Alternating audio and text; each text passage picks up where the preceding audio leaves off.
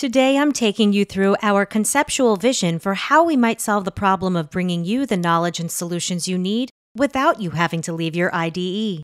If you need to access knowledge and get a solution, you have to jump across multiple tabs, windows, or screens to ask questions and find solutions, which disrupts your flow and productivity. We envision a way where the knowledge is in your IDE and you can easily search, document, and receive community validated summaries without having to jump or shift between tabs, windows, or screens.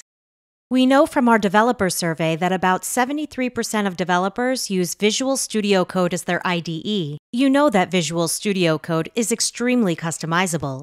Everything from themes to extensions. You also have a tab or multiple tabs open to Stack Overflow for Teams and Stack Overflow. You start with a simple question. It's your first day, and you want to know the basics. The AI goes out to your Stack Overflow for Teams instance and searches for an answer for you. You get a summarized answer, and you are pointed to the source on Stack Overflow for Teams in case you need more information.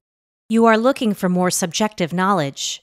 You know the IDE extension can also pull from longer form articles in Stack Overflow for Teams. You get a summarized answer from an article in Stack Overflow for Teams, and if you want, you can also get a summarized answer from Stack Overflow's public site. Gen AI models rely on human feedback for training and to improve their outputs. That's why it's important for you to provide feedback on whether or not this summarized answer solved your problem. Sometimes you may need a little more context, but it's not worth asking a full question on Teams or asking a colleague over chat. You highlight the bit of code you want to understand and click on Explain from the contextual menu. You'll get back a short summary, again with any sources cited. This helped you and you think it'll help your teammates, so you want to add it back into your Stack Overflow for Teams instance.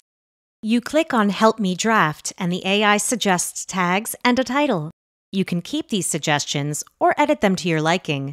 Then all you have to do is click, and the knowledge you gained is added into Stack Overflow for Teams. Register your interest if you want to keep up with us as we explore ways to bring knowledge into your IDE, or if you want to be part of an alpha or beta test.